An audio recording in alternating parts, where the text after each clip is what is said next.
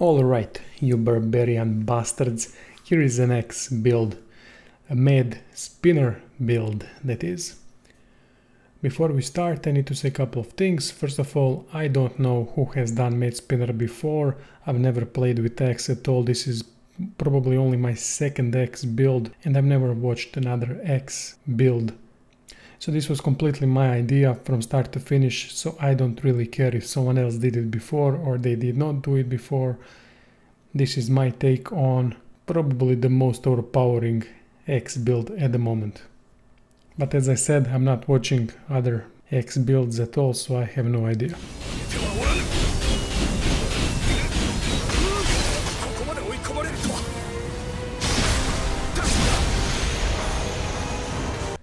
Let's start with the equipment. First get yourself dual swords from Master Swordsman power set because we need skill ki reductions so that we can spin to oblivion. That's the that's one of the most important things here. Second one get an axe, any kind of an axe, as long as it has Pierce Guard special effect that is purple. This is especially important versus human enemies. For the rest of the stats, go for whatever you want. It's not that relevant really. But if you go with Kaido axe and you have skill, skill Rumbling Earth, increased damage, then it will stack with Kaido's set bonus for wearing two pieces. And then you will have around 60% more Rumbling Earth damage, which is also fantastic if you don't want to use Spinner.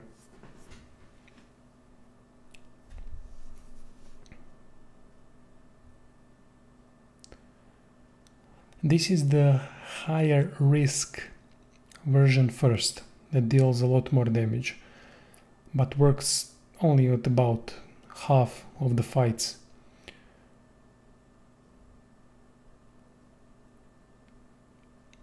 If we wear Fanatic armor, we will get special effects critical plus 50% as the armor set bonus.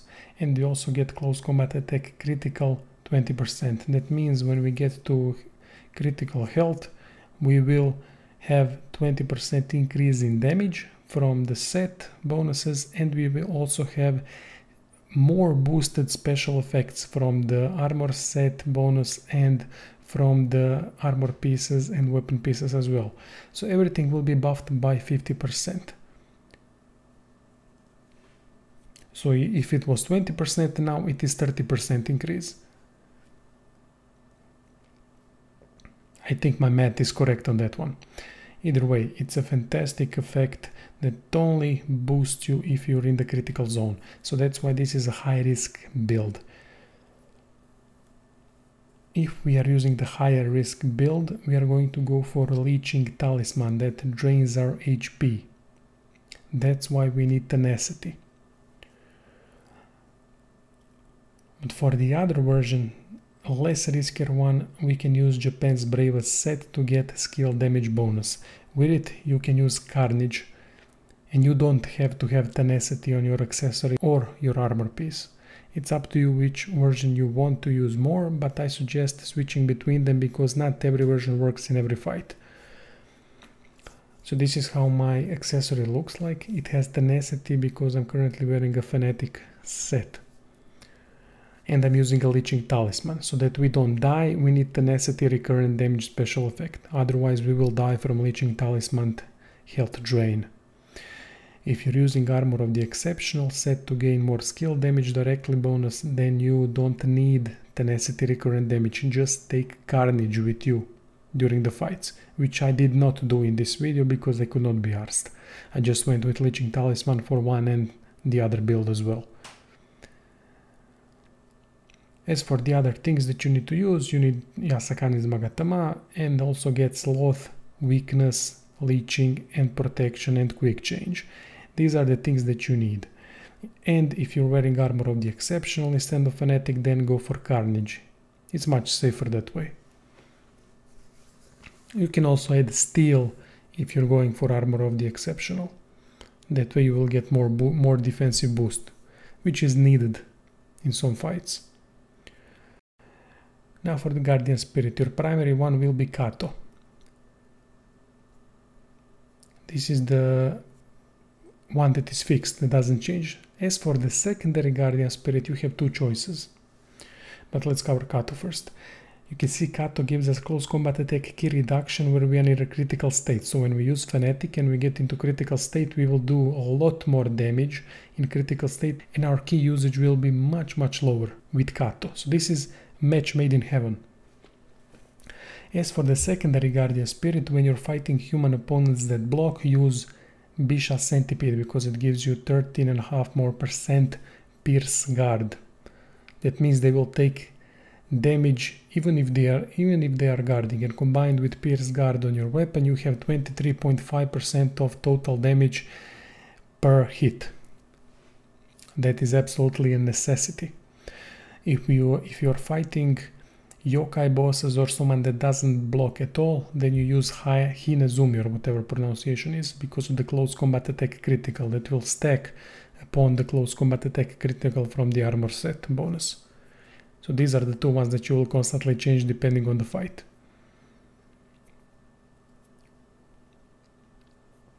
Go for the Honda Clan because of the skill damage bonus. It's a 7% which matters. I know it doesn't sound like a lot, but in the end it matters because you're spinning constantly, hitting your opponents and doing a ton of damage, and these 7% matter. As for the skills, I will cover the most important ones here. It's Battle Focus from the X3. It will decrease your ki usage when you're attacking, which we are constantly doing with Mad Spinner. And the most important one, Mad Spinner. Get both versions, Mad Spinner 1 and Mad Spinner 2. This is our go-to move. You can see how little I'm using axe because I don't even have a Mystic Art unlocked. now you're going to call me a knob, which I probably am, but you can use whichever one you want. The first one is good when you get to the zero ki from the spinning and X, that last attack will do a massive damage, so that's a good one. The second one is also good, for example, in Hyakki Yagyo, when yokai bosses are constantly spawning those yokai pools. Then you stand in a yokai pool and start spinning and you will do more damage when you're spinning while you're standing in the yokai pool. So both of these are good. So you can take both of these and change as you see fit. As for the other weapon skills, just get the ones that are listed. Don't forget to add to the axe skill tree Cornered Boar and Fortitude as well. From the Onmyo and Ninja skills, you need quick change clown runner dashing and dodging for the ninja skill tree. For Onmyo skill tree get leeching weakness slot protection carnage steel. With that in mind that carnage will replace leeching and steel will be added to the armor of the exceptional version of this build. When you're using fanatic just go for the leeching protection weakness and sloth don't forget to add also all those resistances from the Onmyo and Ninja skill trees if you have some points left over. That means versus fire, versus lightning, all the elemental ones, then versus Yokai Realm, then reduced damage from Yokai, and so on and so forth. And from Ninja get versus paralysis and versus poison. Also get recurrent damage dealt and recurrent damage defense as well. Now for the core stats. The stats need to look something like this. Now body is a questionable one. When we are wearing fanatic armor, we don't need body at all. But when we are wearing exceptional, then we need body to survive the attacks from the enemy while we are spinning. Get some points into heart as well, the more ki you have the better. As for the minimum requirements, you're going to have stamina 15, strength 14 and body 14 to wear both sets. If you have some more points left, I suggest pump some stats into stamina so that you have agility B when wearing fanatic. When you're wearing armor of the exceptional, unfortunately you will be agility C no matter what. As for the rest of the stats, you don't need skill at all. I just did that for the purpose of testing. Dexterity you need at about 30, 30 is enough. Magic get as much as possible because with more magic power you will be able to cast weakness and sloth that will last longer. Same goes with leeching and carnage as well and their effects will be more powerful. Now I don't know the exact scaling when it's not efficient anymore but I've noticed that magic is far more powerful when it is above 60. When you're at about 30 or 40 then weakness, loath, anything that you're casting on yourself and the others, it's really, really short. As for the spirit, you need only enough to get all the bonuses from Kato, that bonus Pierce Guard from Bisha Centipede and Hinezumi Close Combat Attack Critical. I don't know what the stat is, I think it's around 20, you can check that out when you're going for this build. Just go into the change guardian spirit section. And then when you're changing to the second guardian spirit it will say what's the number of the spirit that you need to get that secondary bonus. That's all that you need. You don't need to go further than that we are not using living weapon at all and now for the fighting phase let's start with these two bastards on way of the wise here is the armor of the exceptional version of this build because in this particular fight fanatic one doesn't work. I will explain now. It doesn't work because when you're in the fanatic version you are at low HP constantly and this bitch will hit you with something before you even get to her and then you're dead. If she throws the staff you're dead as well. Doesn't matter what I what you're wearing. That's why Armor of the Exceptional is there when you know you're going to get hit and you don't want to de be dead instantly and then you need to cast again your um, your buffs and whatnot.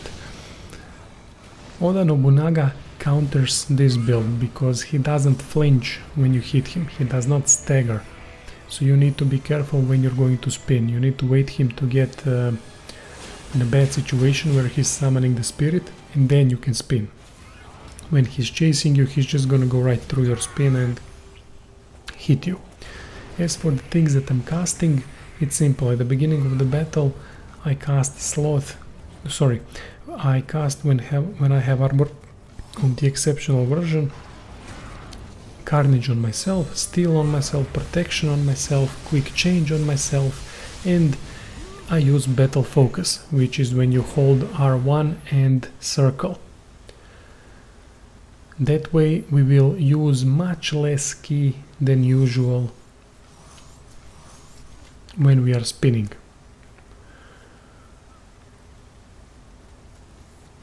On my enemies I cast Sloth and Weakness.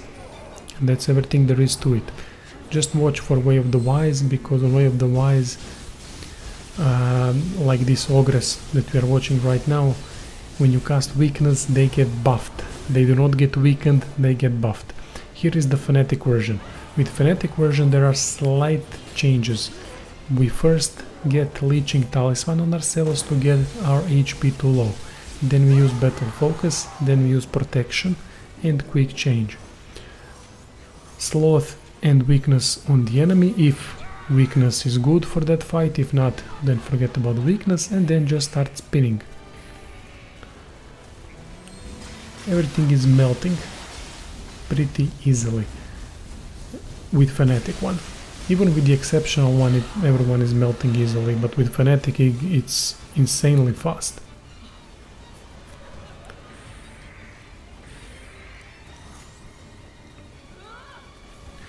We are not using Steel with Fanatic because there's no point. Steel just reduces damage that we are receiving and if we receive any damage with Fanatic version we are dead. For example, Hino Enma completely counters our build. She does not stagger, flinch, anything at all. So she just goes right through it, she hits you and whatnot. And I play this poorly as well.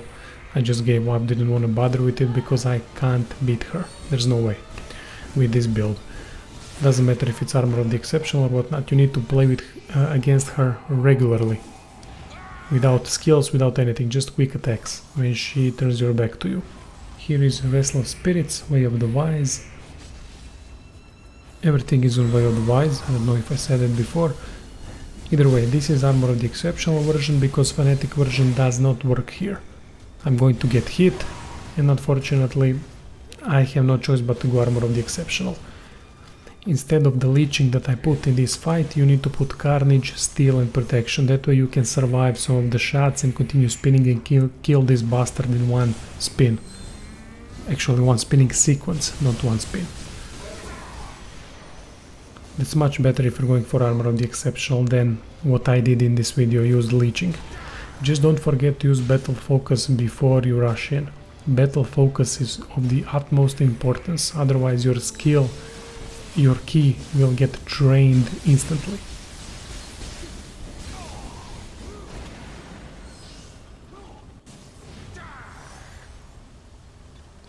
In this particular fight I also forgot to equip Armor of the Exceptional headset, so I didn't even have skill damage plus 20% for that fight on Restless Spirit stage.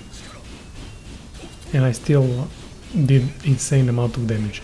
Here is two kings, one way of the wise. Here you can go fanatic. You can see the amount of damage that I'm doing to the bastard even when he is guarding. Just because of the pierce guard. It's absolutely insane. And then you just finish him off when he's out of ki. That easy. And as for Honda, he's even easier.